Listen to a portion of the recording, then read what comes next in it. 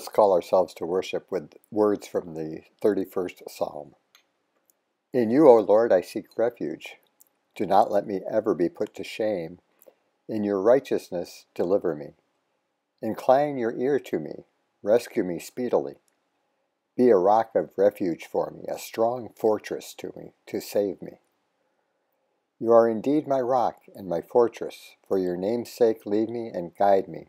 Take me out of the net that is hidden for me, for you are my refuge. Into your hand I commit my spirit. You have redeemed me, O Lord, faithful God. My times are in your hand. Deliver me from the hand of my enemies and persecutors. Let your face shine upon your servant. Save me in your steadfast love.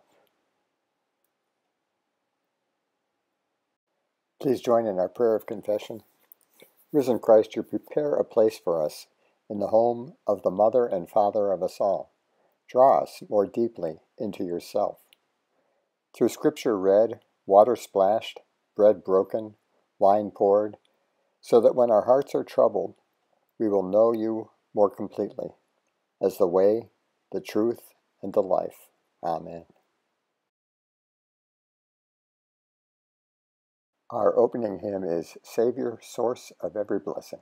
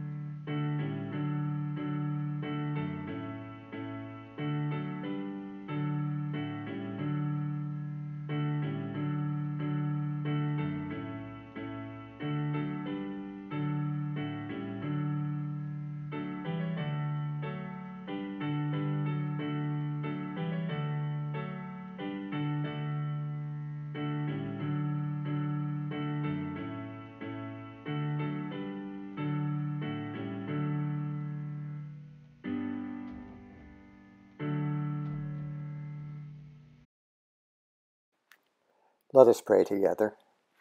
Gracious God and lover of all creation, we come to you with hearts that are heavy and minds that are confused.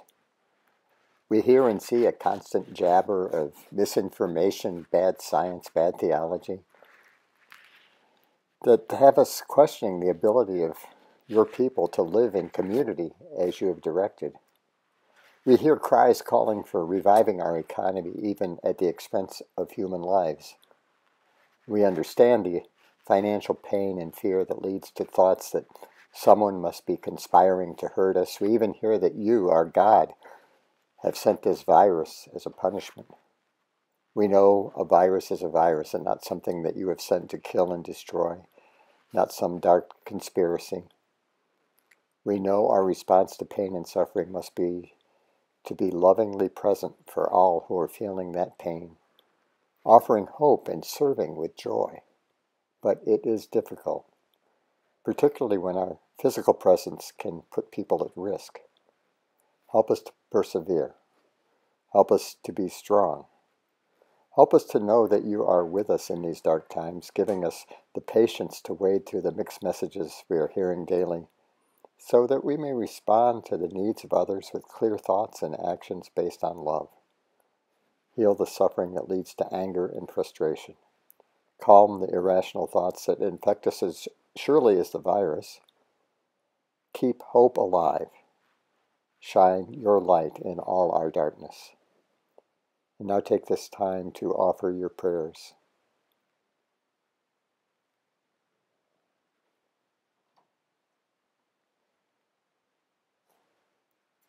We ask all of this in great confidence that you will respond with your loving grace in the name of the one who taught us to pray together, saying, Our Father, who art in heaven, hallowed be your name.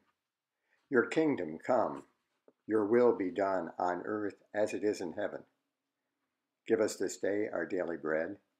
Forgive us our sins, as we forgive those who sin against us. Lead us not into temptation, but deliver us from evil. For yours is the kingdom, and the power, and the glory forever. Amen.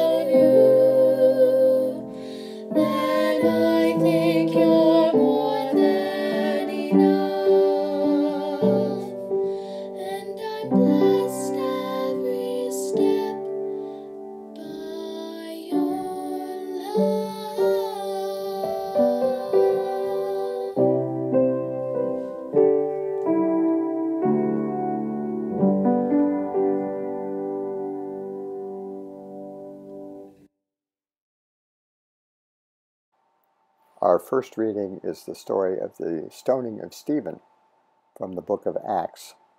And you can imagine how I felt as a child when I learned from my parents that this was the guy I had been named after. Here is the text. But filled with the Holy Spirit, he gazed into heaven and saw the glory of God and Jesus standing at the right hand of God. Look, he said, I see the heavens opened and the Son of Man standing at the right hand of God. But they covered their ears, and with a loud shout, all rushed together against him. Then they dragged him out of the city and began to stone him. And the witnesses laid their coats at the feet of a young man named Saul.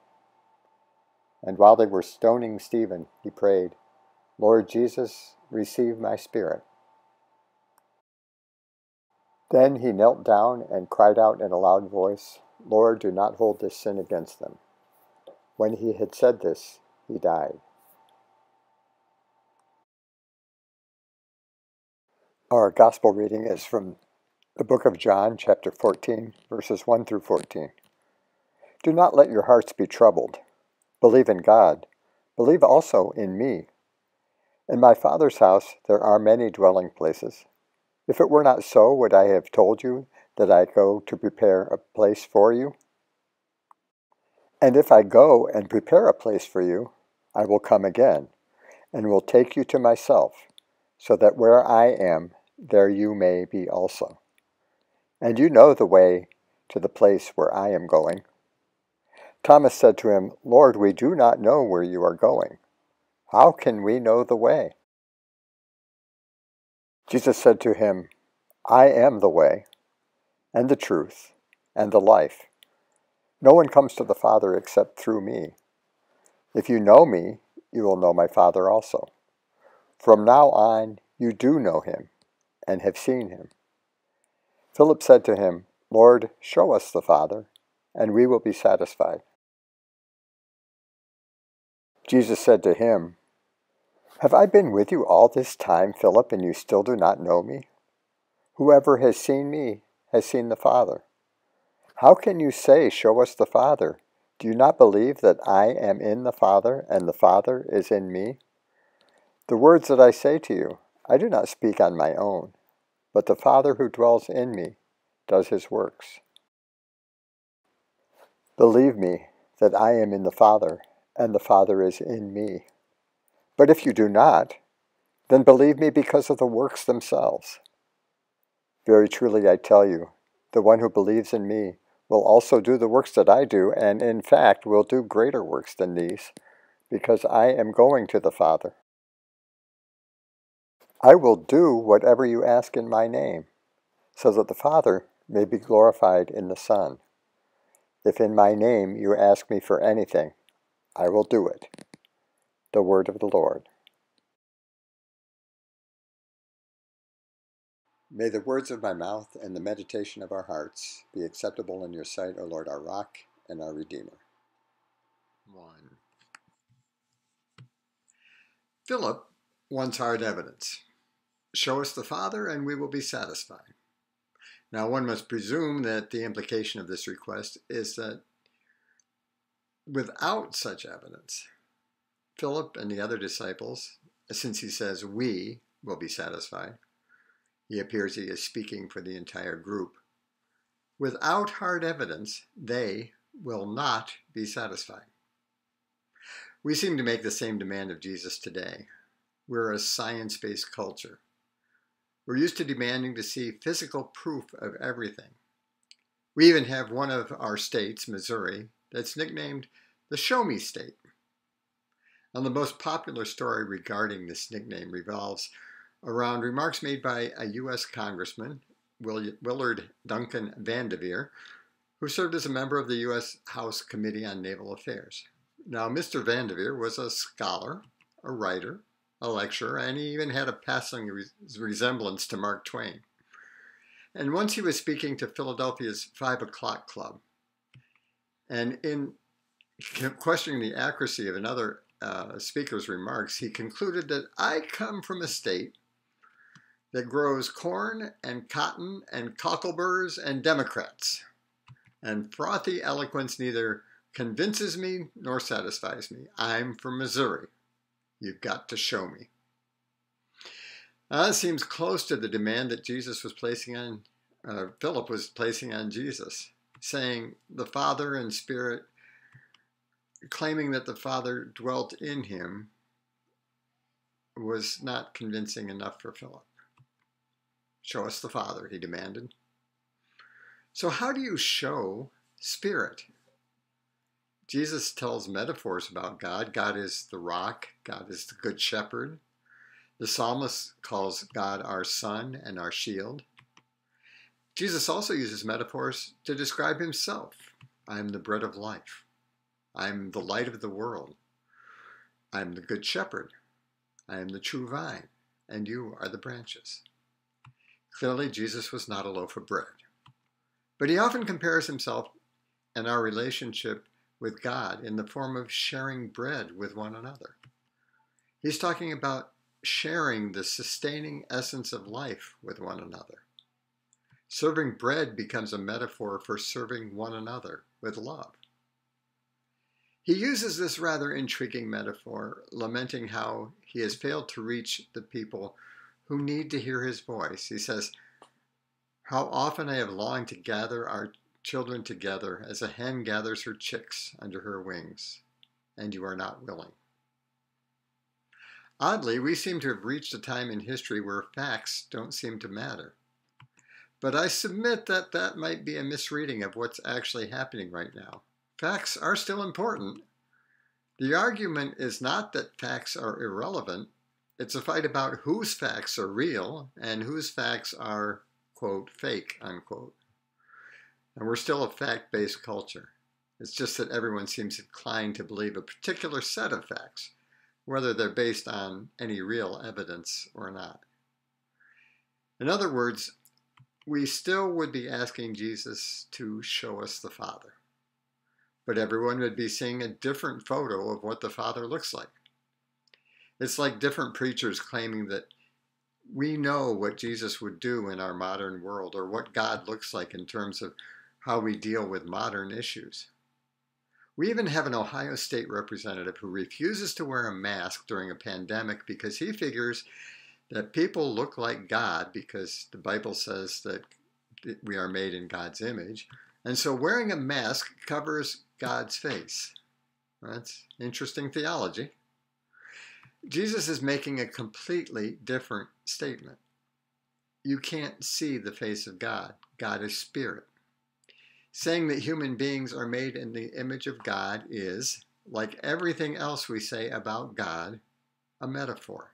You can't see the face of God. You can only see what God is like through the ways in which the Father makes an appearance in the works and teachings of human beings. For Christian, that image is Christ, the accepted metaphor for the image of God. And even in the case of Jesus, we tend to want to paint an actual picture of Jesus. We see him too often as tall and slim and white and often blue eyed with long blonde hair and a beard. And, and yet, the man from Nazareth was probably dark skinned, short, squat, based on the fact that he was criticized for being a glutton, with dark eyes, dark hair, likely short hair, and no beard, based on the fact that beards and short hair were common at the time. Oh, and note that Jesus was critical of those who wore long robes, which in his time was an indication of flaunting wealth. Seems, like, seems likely his own attire would have been shorter than he's generally depicted. Now, if you saw the depiction of the televised Jesus, uh, Jesus, Jesus Christ superstar, the portrayal by John Legend was probably a better approximation of the physical Jesus than the images we've been using in our Sunday school classrooms. Still, that's only an educated guess. Arguing over what Jesus looked like is another way we miss the point. We don't know what Jesus looks like, and it doesn't matter. Our Muslim brothers and sisters solved the issue with their own prophet Muhammad by prohibiting any depiction of him. But Christians will, I am confident, keep spinning out examples of what we think Jesus did or could or should look like. I can't think that Jesus would consider that to be a good thing. Jesus is calling on Philip to look a little deeper at him. He wants Philip to see the Spirit of God revealed in him. That's not revealed through the color of his eyes or the tone of his skin or the length of his hair and beard or the hem of the length of his robe. It's revealed in Christ's loving spirit and service to the oppressed. It's revealed in his power to heal and his willingness to stand up against evil. See those things in Jesus, and you can see the Father. Believe me that I am in the Father, and the Father is in me. But if you do not, then believe me because of the works themselves. Unlike the disciples who knew exactly what Jesus looked like, we only have the message of his words and deeds to go on. It's probably unfortunate that, we also have the almost certainly unrepresentative images of Jesus from art and movies. Those images tend to reinforce our need for the hard evidence of the Father and the Son that we long for. We grab onto an image rather than the spirit behind the message and the hard and painful suffering that were so much part of the life and teaching of Jesus and give so much power to this story. The wistful, peaceful images welcoming Christ welcoming the children that belies the scandal of allowing children and the unkempt and the lame and the tax collectors, the prostitutes, the Samaritans to join him in his ministry. Show us the Father the Father is revealed in the struggles of Jesus. The radical attack on extravagant wealth, the clash with the ruling class of both the government and the temple, the ministry to the outcast and the downtrodden, and the contempt for the hypocrisy. These are the re- things that reveal the Father who lived in Jesus. There are no photos or movies of the Father. God's not calling any press conferences. What God is doing is revealing the Spirit in countless acts of compassion and love daily. That is Christ's Spirit shining through. It's shining through Christians and Muslims and Jews and atheists and sinners and doubters and believers. I often wish it was something we saw more often in the folks who call themselves followers of Christ. God's Spirit is not about what denomination or nationality or race you are associated with or about your IQ or your musical ability or any physical or mental impairment you might have. The face of God shows up in how people serve one another with love. May we allow the face of God to be seen in our own face through our service. May it be so. Amen.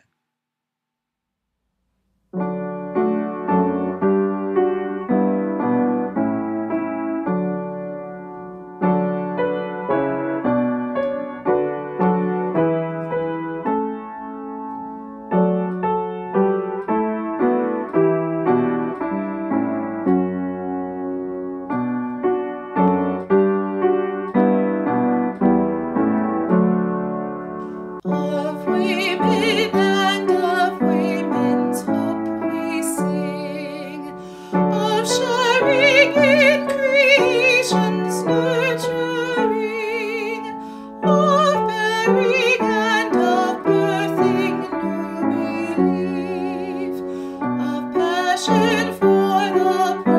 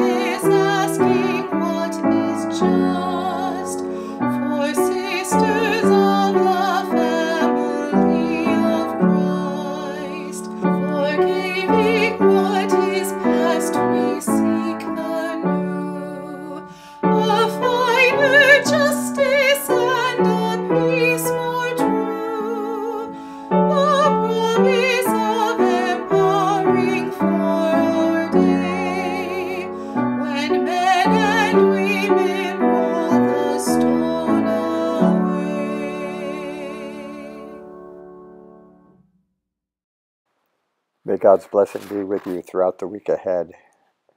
And may that blessing go out to all God's people through you and your presence. Amen.